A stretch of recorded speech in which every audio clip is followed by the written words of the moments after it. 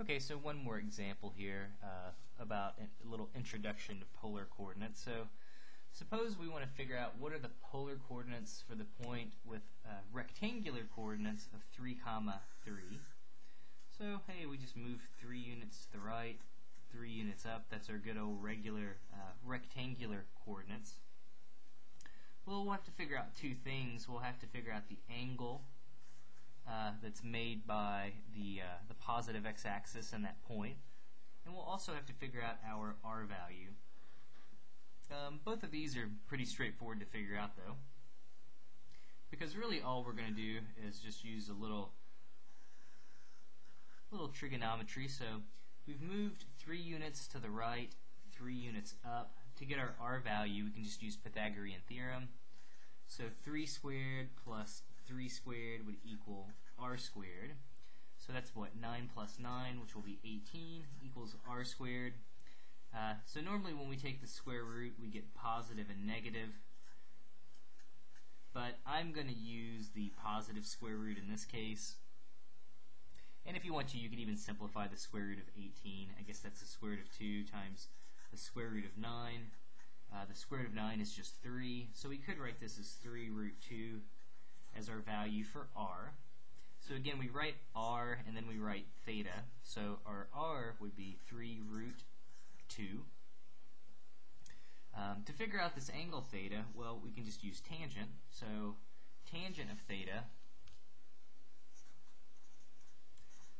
would be the opposite over the adjacent, so 3 over 3. So that's just going to give us tangent of theta equals 1.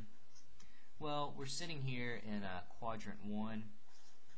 This is definitely going to be theta equals pi over 4, or 45 degrees.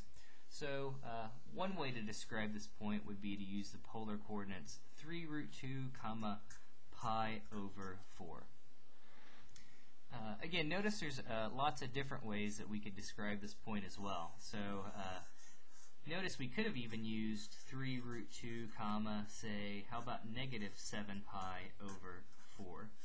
Because negative 7 pi over 4, um, we would go around, that would put us at the exact same angle. Okay, negative 7 pi over 4 would put us at the same angle. And again, we would just go at a distance of 3 root 2.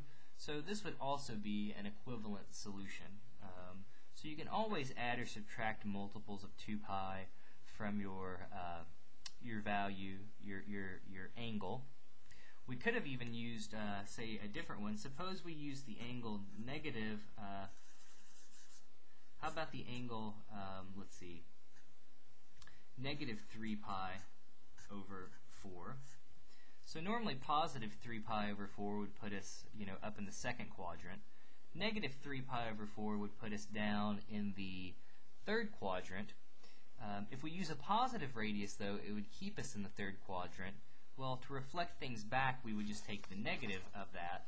So we could use negative root 3, negative 3 root 2, comma, negative 3 pi over 4 as another way to describe that, uh, that point using polar coordinates. So maybe more than you wanted to see. Again, I think little things that are definitely uh, good to think about, though.